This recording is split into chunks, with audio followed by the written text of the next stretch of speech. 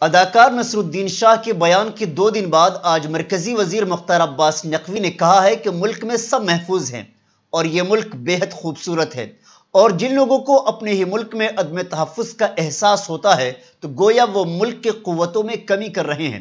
انہوں نے آگے کہا کہ نصر الدین شاہ ایک بڑے اداکار ہیں اور اسی لیے ہندوستانی عوام ان کی اس اداکاری کی قدر کرتے ہیں۔ مختار عباس نقوی نے اپنی بات جاری رکھتے ہوئے آگے کہا کہ ملک میں نہ تو کسی کو ڈرنے کی ضرورت ہے اور نہ ہی کسی کو ڈرانے کی ضرورت ہے۔ مرکزی وزیر نے آگے کہا کہ نصر الدین شاہ کا منشا صحیح ہو، مگر ان کے بیان کا مطلب غلط تھا۔ انہوں نے آگے کہا کہ غصہ ملک پر نہیں، بلکہ غصہ ایسے لوگوں پر آنی چاہیے جو ملک کے بھائی چارگی، باہمی تعلقات اور سماجی تانے بانے کو بگاڑنا چاہتے ہوں۔ دیش میں سب سرکشت ہیں۔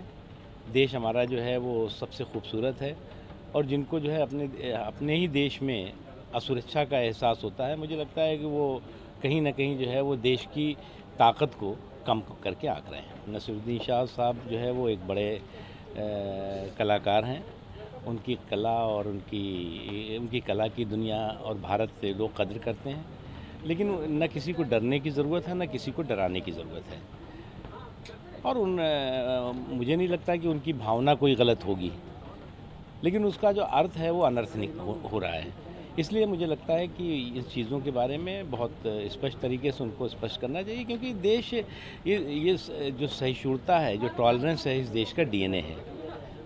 اور اس، جس دیش کا ڈی این اے ہی سہیشورتا ہو، وہاں پر کیسے ڈر ہو سکتا ہے اور کیسے جو ہے غصہ آ سکتا ہے؟ غصہ آپ کو دیش پہ نہیں آنا چاہیے، ان طاقتوں پہ آنا چاہیے جو دیش کی ایکتا کو، دیش کے سوہارد کو، دیش کے بھائی چارے کو نقصان پہنچا